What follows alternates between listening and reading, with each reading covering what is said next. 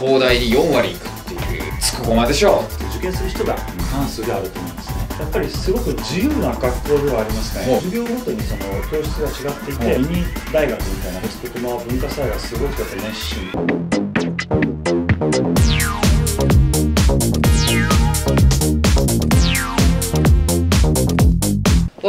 した。ポケチャンネルさあ今回ですね。再び。はい。林さんにおいていただきました。どうもこんにちは林です。お願いします。はい、まあ、前回はですね林さんの生い立ち的なものをですねそうですね。聞いていったんですが今回はやっぱりつくごま。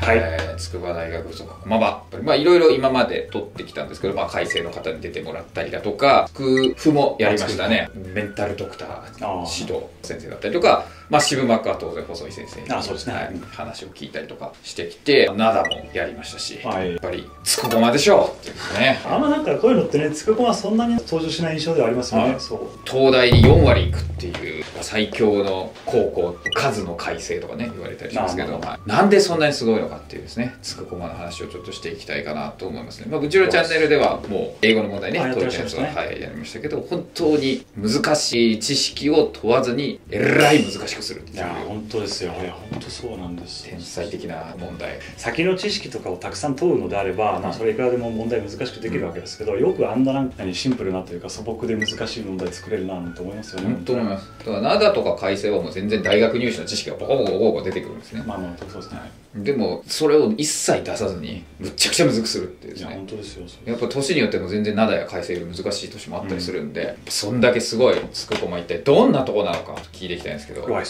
どうなんですか？もう校風だったりとか進路だったりとか。そういうの気になると思うんですよね。やっぱりすごく自由な学校ではありますね。いろんな意味で自由でその例えばですね自分がまあ部活でも同好会でも何でもいいんですけど、何に打ち込むのもやっぱり自由。まあもちろん運動してる人もいますよ。うんもちろん。受験勉強難しくもそれは別なんで運動してる人もいるし、まあそれ数件とかあるいは僕は将棋部にいたんですけど、はいはい。そういうの打ち込んでる人もいるしそれこそ通りとか上りとかそういったものに向けて勉強してる人もいたりとかですね。もう本当にいろんな趣味の人がいてみんなが自分の好きなものに打ち込んでるっていう。おまあ、そういう意味ではだいぶ開かれたというかなんかどういう趣味とかに対しても開かれた学校でありますね。えー物理オリンピック金メダルあまり国内ではありますけどね、ははい、高3の時に。男女比とかも男子校なので、まあ、やっぱり1-0っていう感じそうなんです。はい残念ながら そこはが共学ですね。共学ですね。なんでそこを間違えないように気をつけてくださいね。どうでした？まあ中学はダメだったんですけど、ね。それで高校から入って。なんか最初は結構しんどかったんですよ。あの、つくこまって、こう、高校入試で取る人数すごく少ないんですよね。まあ、連絡生というか、いわゆる一貫生が120人いて、うん。で、高校入試で取るの40人なんですよ。ほうほうほう。で3対1ってことで、まあ、やっぱりマイノリティじゃないですか、うん。でしかも3クラス中学ではあったんですけどその高校購入生クラスっていうのがあるんじゃなくて、全部3010で4クラスになるんですよ。へえだからまあやっぱりそのすごくこう友達がいない人になるんですよね最初あそうなんですね。でも僕塾通ってなかったしそのなんか例えばなんか早稲田の同期とかそういうのがいなかったので最初すごくぼっち生活がですね極めて大変でした。そうなんですね。そうそう。確か指導先生聞いた時はつくふは高校で入った子がまさに枠少なくて優秀。びっくりしたな今指導先生知ってるよ今指導先生の話。ビビった後ろから後ろから声が聞こえたわ。そうそう指導先生の時はつくふで高校から入った人の方が賢いんだとかって言ってたんですけどつくこもはどうなのそのなんていうんでしょうねその高校受験の勉強をやっぱりしてるので、はい。もう本当にもう何高1の4月で測ったらやっぱりまあ高入生の方がやっぱ学力が高いのかなあーそうとまあただまあ正直普通のペーパーテストは上回ってるって話なんで、うんうんうん。他の人の方が例えばなんかわかんないですけどじゃあ数折りがとかって言ったら、はい。あの一貫生とかの方がやばい人が多いって感じですね、うんなるほどなじゃあ別に大学受験になった時だったら別にそこですごい差があるとかはない。まあ足並みも正直揃いますね。はい。もうんなんだかんだ一貫生でもその中1から緩く鉄力でエースやってるみたいな人も結構いるので、なんだかんだそのあくまで高校受験をある一時期に超やったからっていうだけだと思います。なるほど授業は特徴ありました？違うな基本ですね、なんかその先取りみたいなのはあんまりないです。あのへえ。やっぱり国立の高校ってこともあるのと、うんあとはその筑波大から教育実習生が降りてくるので、はいはいはい。ということもあってあまりその内容はぶっ飛んではいないんですよ実は。うんまあ、なので先取りはしないんですけど、うん先取りをせずにだからやっぱあれです入試問題よろしく、うんそのいかに深掘りするかみたいなのが特にまあ数学とかだとやっぱ顕著かなと思いますね。えー、そうなんですね。まあまあ高校入試のね英語の問題見ても、まあ、東大意識してるなっていうのはまあったりはするんで。先取りしてなんか先生特徴的とかありました？あーどうなんだろう。なんか例えばあごめんなさい。僕はあの数学じゃのみについて述べると、はい。中学入試が難しいということもあって結構ですね中学入試的な発想を好む先生がうん。結構多かったりするんですよ、だいぶニッチな話になっちゃうんですけどなんか例えばある問題の解法を計算でというよりかはちょっとこう図形的に考えてみようとかですね、はいはいもうどこまでいっても結局その限られた道具の中でいかにこううまいことやってのけるかみたいなのは結構得意な先生が、まあ、少なくとも数学には多かった印象ですね。なるほど。そこも出てるわけですね先生たちの。いやそうですね。やっぱ特徴的。まあごめんなさい。僕はもちろんあのいろんなここ行ってはいないですけど、特徴だと僕は思ってます、なんか担任によってすごい影響されるとかありました？つくふの時の話はそういうのがあああ実はあのホームルームがないのでつくばって。へえ土曜日にそのなんていうんだろうホームルーム的な時間はあるんですけど、そのクラス活動みたいな、はいはいはい。まあ、それ以外朝も夜もほ夕方もホームルームないので、あんまり影響はないかなという感じです、クラスなんか移動したりとかするんですか？あもしますね。授業ごとにその教室が違っていて、はいミニ大学みたいな感じのへ体育とか以外も普通に他の教室行って授業を受けたりとかしますね、そうなんですね。えクラスメートと仲良くなるのとかはどういう感じで進んでるんですか？あなんかもう、えー本当人によって様々で、あなんだかんだやっぱりおバカさんはそんなにいないので、いじめとか喋らないとかそんなことはなくて、あこうこちらから歩み寄ればなんだかんだ気軽に話してくれる人ばっかりですね、うんそこはまあいいなと思いましたが、まあ、僕はちょっとそういうのがあんまり得意なフレンズじゃないので、うだいぶ最初は苦労したんですけど まあやっぱりこう数学とかでこう前で書かされたりとかですね、はい。みんなの前であれこれする中でうん。ちょっとずつこうインタラクションが生まれたって感じです。えー、おおすげえやり方してんなみたいあそうそう。あ先生がうまいことをちょっとおちょくってくれたりとかして、まあ、溶け込めたっていうのが正直なところですね。なるほど。物理オリンピックとかいろんなまあオリンピックとかも雰囲気的になんかみんな目指していくみたいになるんですか？やっぱりその同期とかでほあの例えばじゃあ僕素折り受けるんだっていう人がいたら、はい。やっぱり受けたいって思う人いるいるいると思うんですよね、はいあるいはその単純に認知度が上がったりとか、うん。だからやっぱりその、まあ、もちろんみんながみんなじゃないですけどそういう予備軍みたいな人があの予備軍じゃなくなるみたいな効果はやっぱりあると思います。えと特に、まあ、あとあと制度上も例えばつくこまだと数折りはですね先着何人かが受験料割引かな無ー、料かなあっていうのがあったので、まあ、そういったあの、まあ、その制度上もの恩恵もあってですね、やっぱりそういうそのかいわゆる科学オリンピックサイエンスオリンピックは活発でありますね。ああなるほど。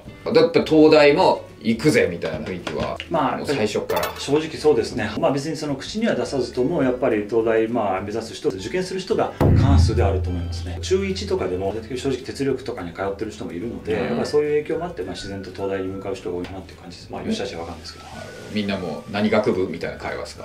何学部あで受けんのもな。んかあんま不思議となんか学校ではですねなんかこう勉強の話をしない人が多いんですよ、へえまあ当時ちょっと言葉あんまり最近使わないですけど、勉強中とかですね、はいはい。ういうわけです。なんとか中とかあんま最近言わないかもしれないですけど、はでまあ僕も休み時間とか朝とかに勉強とかしてると、はうわ勉強中だとか言ってあおっへ顔して。えあそういう風になるんですね。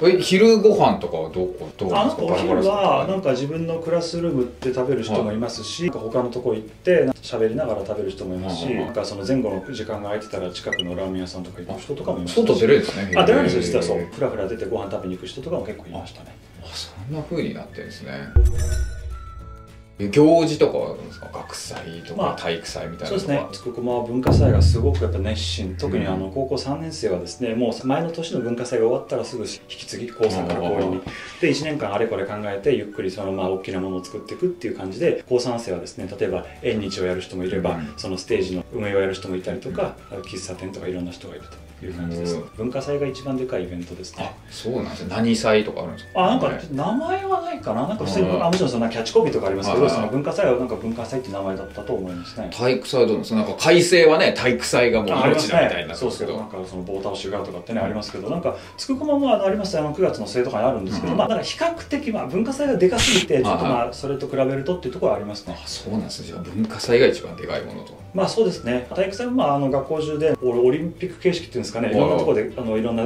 競技が進行していくって感じではあるんですけどそれまでそこそこ盛んではあるんですけど、うん。まあ、やっぱとにかくもう文化祭がでかいとえいう感じです、中間テスト期末テストは？中間テストが確かなかったんですよ。